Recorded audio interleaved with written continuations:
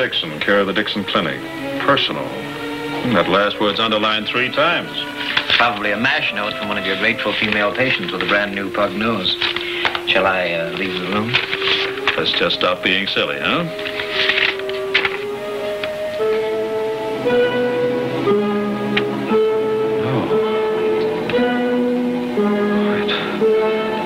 It just can't be. Is impossible. Dad, what is it?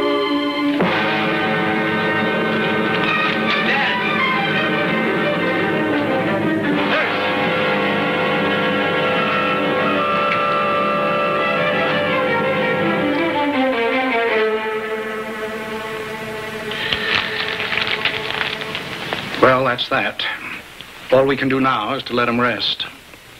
That's my prescription for you, too. Dr. Salmon, how, uh, how bad is he? Well, you're a physician, Bob. You know all coronaries are tricky. However, your father was in good health and this was his first attack. I'd say that the prognosis was encouraging. Well, come along. He's asleep now and will be for several hours. All right, I'll just stay here for a minute or so if you don't mind. Yes, of course. I'll be right outside, Doctor. All right, nurse.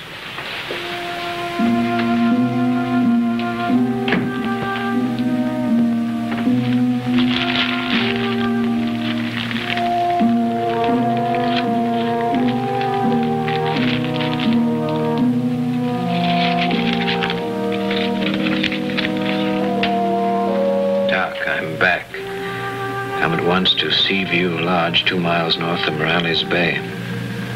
This is an emergency. MR.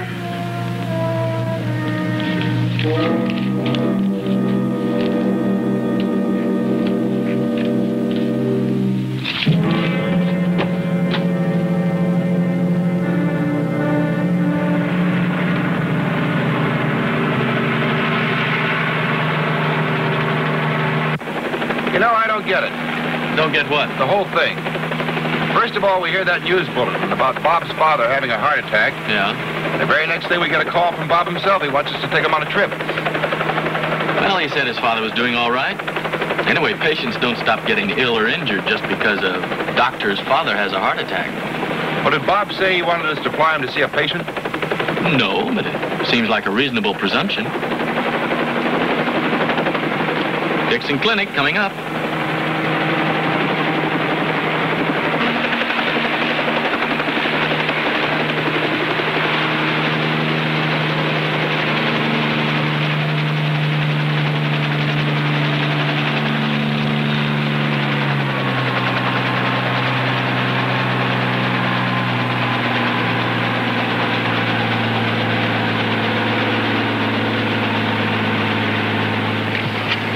How's your dad? The same, he's under sedation. Let's get going. I want to get back as soon as possible. Where are we headed? Oh, I'm sorry. It's a place called Seaview Lodge. It's about uh, two miles north of Morales Bay. Right.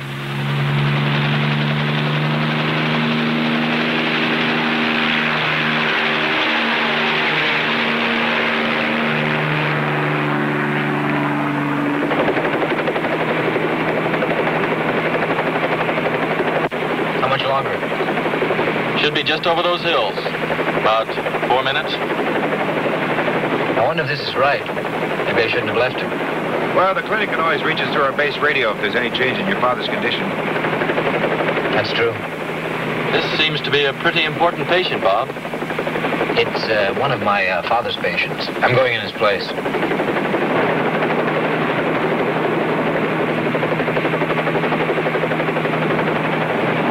That should be it.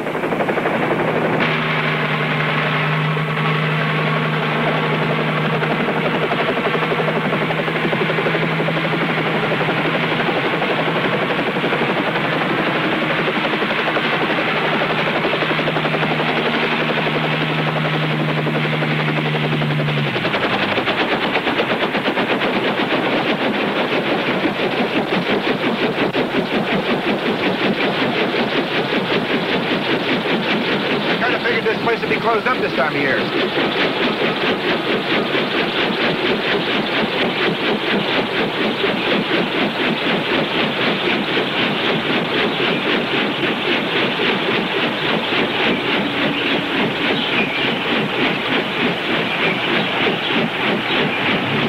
Dixon. That's right.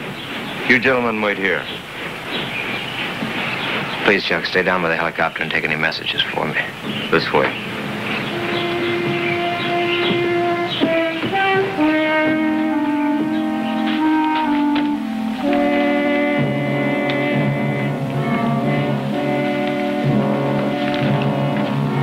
What kind of a gag is this? You're not Johnny Dixon. Dr. John Dixon is my father. Could be. You look something like him. Where is he? He couldn't come. What's the emergency? You a doctor, a plastic surgeon? Yes, I'm my father's assistant. He sent you here. Are you the man who sent this? What about it? I want to know who you are. Who am I? Your old man didn't tell you, huh? My father is in an oxygen tent under sedation back at the clinic. When he read that, he had a heart attack. Now, I want to know why. Well, I didn't figure it was going to be good news for him, hearing that I was back. Back from where? Who are you? I'll tell you who I am. I am Mike Ricky. Oh, Mike Ricky. I am Mike, the boss. Boss Ricky. Oh. Thought you were deported a long time ago. Long enough. Going to be 26 years, but I'm back to stay. And your old man is going to help me. My father? Yeah, I need a good plastic surgeon. He's the best. He'll keep his mouth shut. Do you seriously think my father would operate on you, a fugitive, a notorious criminal? You must be out of your mind. Maybe not. From what you tell me, he's in very bad shape. Could be. I'll have to make it out with you. With me? no. Not a chance. Hold it, Doc. You came here to find out something, right? Sure. You wanted to know why Johnny folded up on account of a couple of words on a piece of paper. Well, I'll tell you. You see, Johnny was one of my boys. You what? Yeah, fresh out of school. And a wife and a little kid, you. Things were pretty bad for him. I needed a guy in my outfit who could take care of bullet holes, knife cuts, for instance, without running to the cops about it. How do you see? Johnny needed money real bad. That's how it was. I don't believe you. Use your head. Would I be sucker enough to send for Johnny if he didn't know I could ruin him? Oh, so what do you want me to do? Finish a job they started in the old country. They changed my fingerprints there, but then I had to run for it. But I still need a new face. I can't move around till I get one. That's the emergency.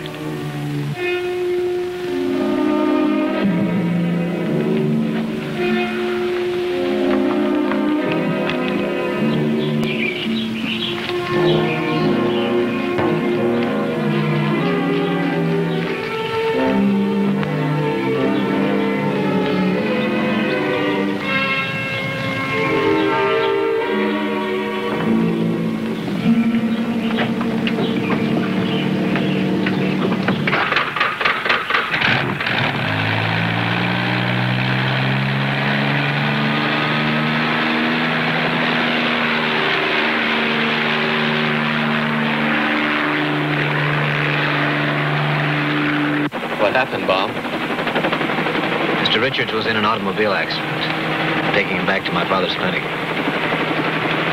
It's an emergency.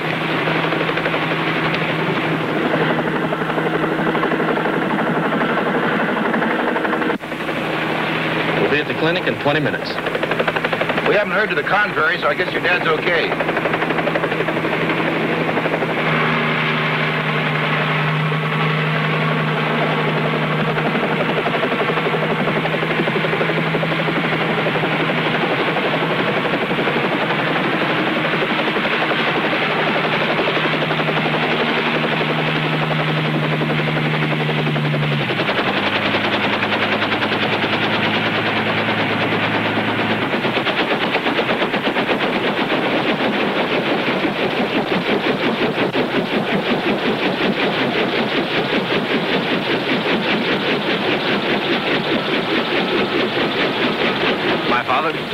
Resting comfortably, Doctor. Captain Bowers is here and would like to see you. Bowers, where is he? He's with his daughter. Take Mr. Richards to room 108 and see that he's not disturbed. Fine, sir. Do you wish him registered as your private patient? Yes, I'll take care of the details later. Why don't you lead the way? We'll help Mr. Richards. Thank you. Doctor? Oh, I heard you wanted to see me. Uh, yes. Uh, I'm sorry about your father. Oh, uh, this came into the office a little while ago. It concerns you, so I thought I'd bring it along. Mike, the boss, Ricky, is supposed to have been smuggled back into the country. They almost nabbed him in Europe at a plastic surgeon. Uh, that's why we're checking around here. It's just routine. Thanks, I'll uh, hang on to this. I'll do that. Oh, and uh, give my best to Dr. John. I'll pay him a visit as soon as he's up to receiving company. Well, so long. I gotta get going. Goodbye, Captain.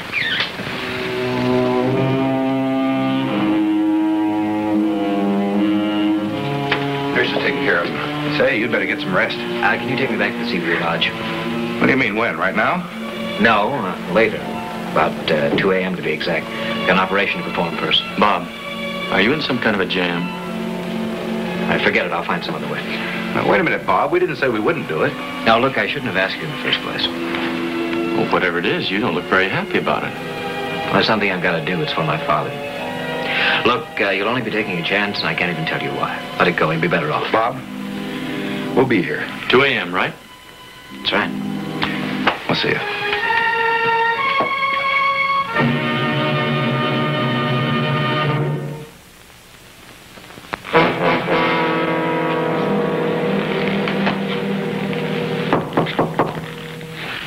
Who is he? Dr. Dix.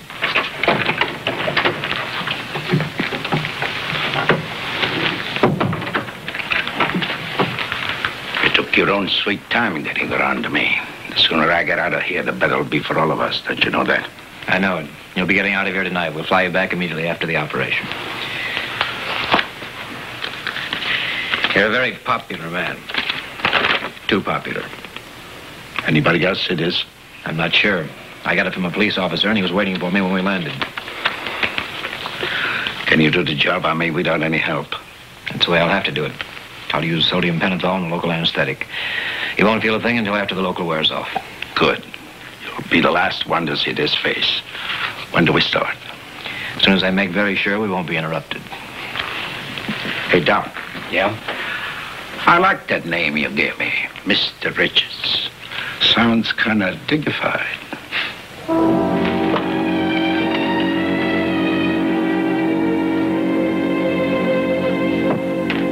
There's no wind. Weather's clear all the way. We have a full moon. We shouldn't have any trouble. Weather's not what's bothering me. Yeah, I know what you mean. Well, look, Bob and his father are both very fine people. Whatever it is they're involved in, it can't be too bad. I hope. Yeah, let's go.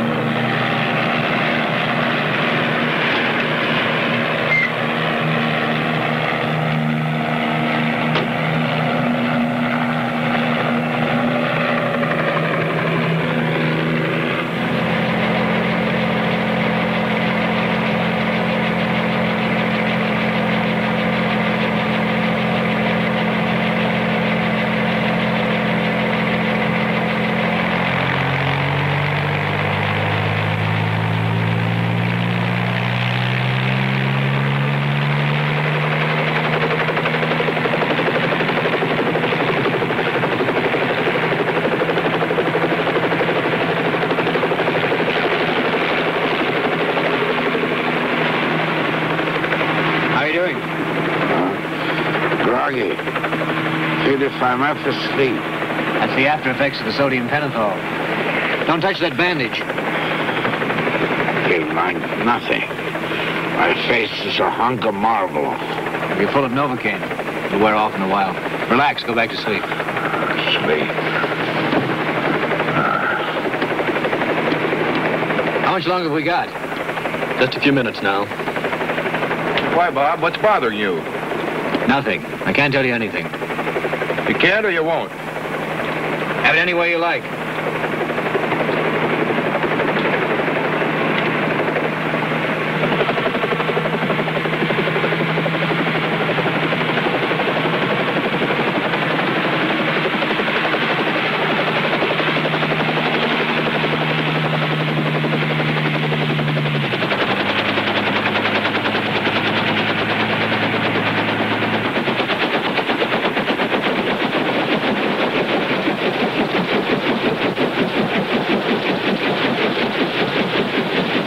Come on in. I want to give you guys a bonus. Stay here. Bob, wait a I minute. said stay here. I'll be back.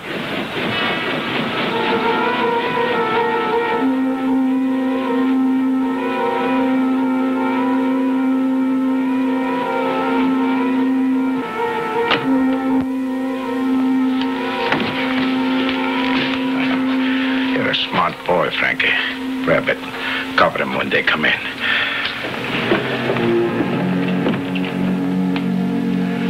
Are your friends, Doc? They aren't coming. Oh, yeah?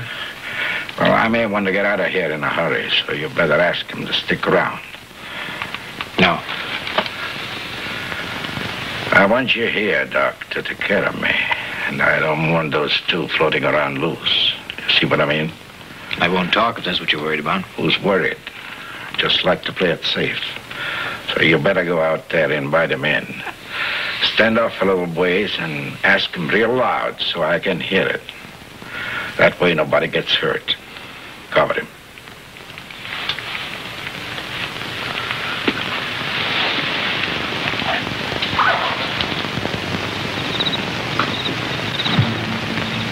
I'm staying here. Take off. I'll see you when I get back. Are you sure that's what you want, Bob?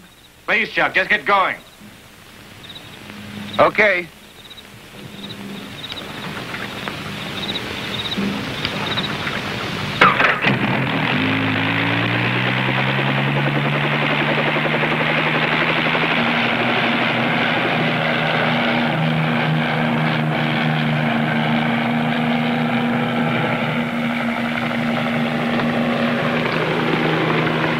You think you're a smart guy, don't you, Doc? Why didn't you shoot? I was expecting you to. You see, I don't particularly care what happens to me anymore. You'll care. I'll make you care. Chuck and PT took a lot of chances for me without even asking why. Just because I was their friend. You see, friendship works in two ways. I had to get him off the hook. You got a lot of more nerve than I figured you for.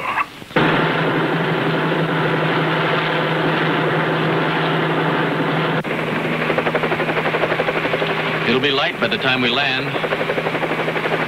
You know, I sure don't feel right about leaving Bob up there that way. Neither do I, but what else could we do about it? I suppose nothing. He said that's what he wanted. Yeah. He's in trouble, that's for sure. But he made it pretty clear that the only way we could help him was to go along and keep our mouths shut. And That's just exactly what we're doing.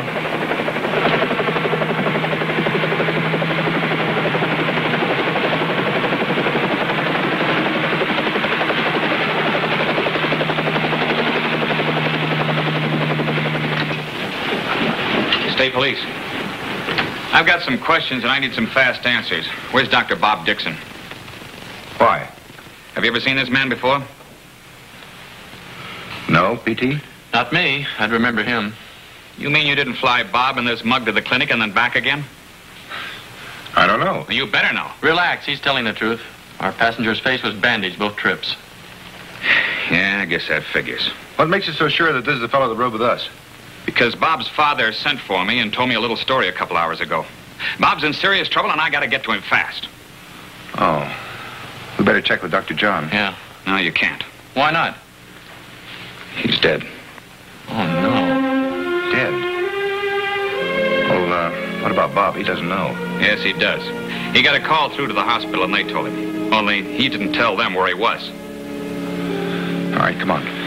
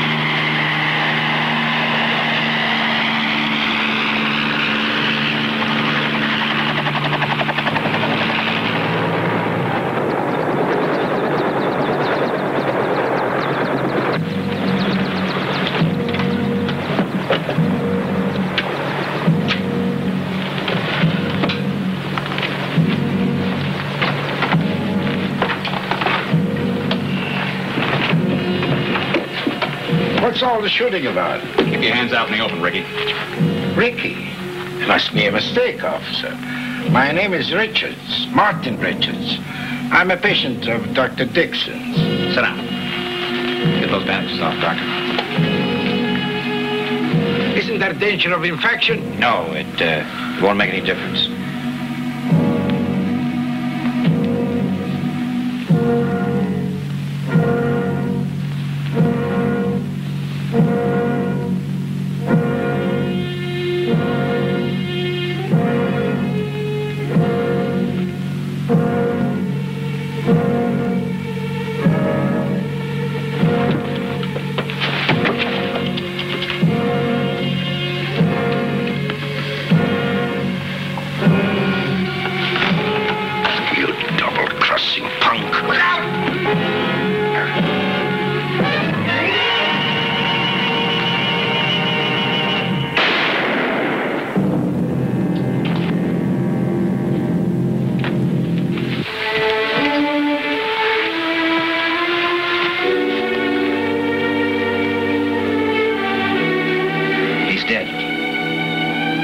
Listen to me.